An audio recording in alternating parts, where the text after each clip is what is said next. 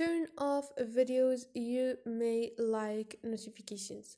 Hi guys in this video i will show you how to turn off videos you may like notifications. Easy and quick on tiktok. So first thing go to your tiktok and here you can click on those three lines up there. Click on settings and privacy and here you can click on here you can click on push notifications in here you can click on videos you may like notifications you can and you can turn off this option.